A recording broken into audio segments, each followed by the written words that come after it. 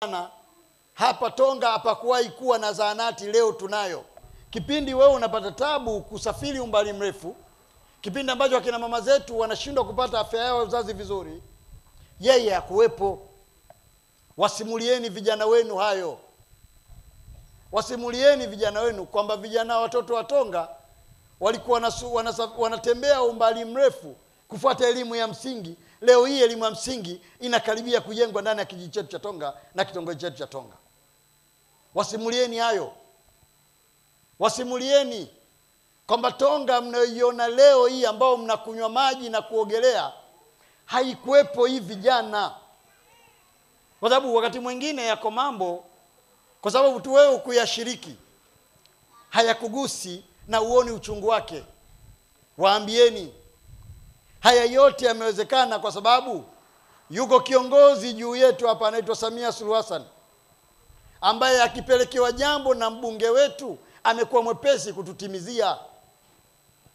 Waambieni vijana wenu kwamba tunaye diwani ambaye pia ni mwenyekiti wa halmashauri ya Chalinze, anatusimamia yeye kama diwani wetu, anatusimamia yeye kama mwenyekiti wetu lakini yale yaliyo mazito ambayo yeye kama mwenyekiti hayawezi anampelekea mwenye, anampelekea mbunge ambaye mbunge anampelekea rais, naye anafanyika ndani ya Tonga yetu. Wakumbusheni vijana wetu.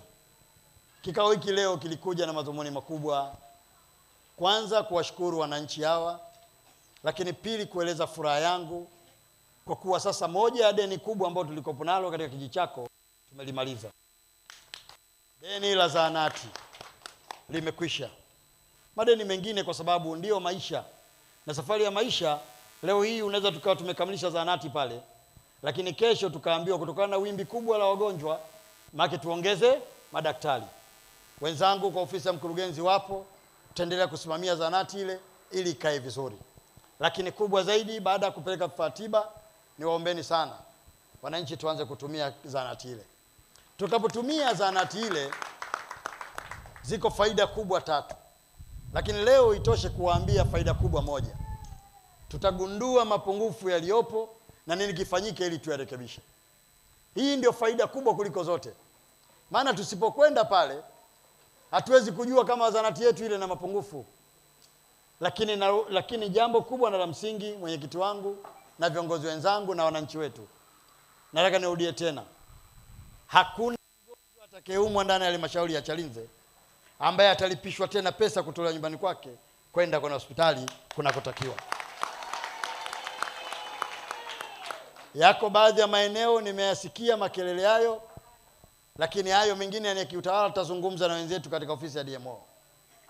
Lakini kwa wananchi wangu tulishakubaliana, akiumwa mtu hata kama ni huko machokoloni huko kabisa, ambapo unajua kabisa gari haiwezi kufika, tutamfuata na kumbeba na kitanda mpaka gari ilipo tutamwingiza kwenye gari na kumpeleka.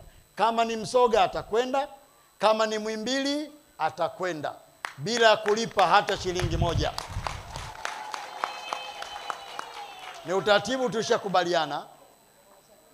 Sina kikao ambacho tumekaa ambacho tumebadilisha utaratibu huo wa kusafirisha wagonjwa eh, maana eh, maana usafiri eh, eh, nakumbushwa hapa nisije nikafikiri kwamba kutoa na dawa ah, ah, ni usafiri tu shehe eh, eh, maana DMO anatazama ashtuka eh, eh bwana malai tena mbunge kafuta na huduma za afya. Hapana, mimi nazungumzia usafiri, kuwafuata wagonjwa na kuwapeka kwenye vituo. Je, kuchangia huduma nyingine zile ni kama utaratibu wa kawaida, lakini msingi mkubwa ni waombeni sana tuingie katika mfumo wa bima ili mambo yaende kuwa mepesi.